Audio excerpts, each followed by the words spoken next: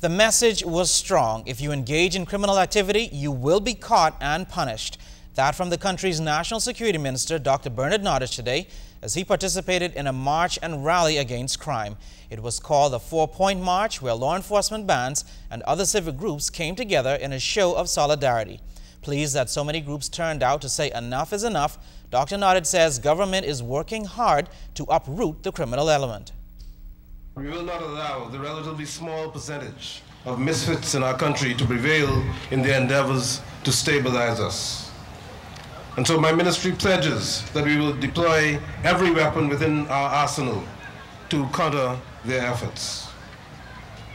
Today's event, under the theme Don't Do It, Drugs and Crime Are a Waste of Time, this is one of several activities, as has been said, that have been organized under our auspices in collaboration with stakeholders from both the private and public sectors. It is designed to send a message to those within our society who choose not to conform to our laws.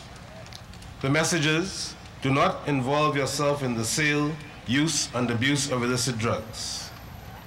Do not involve yourself with gangs who engage in criminal activities that could lead to incarceration and in some cases, eventually death.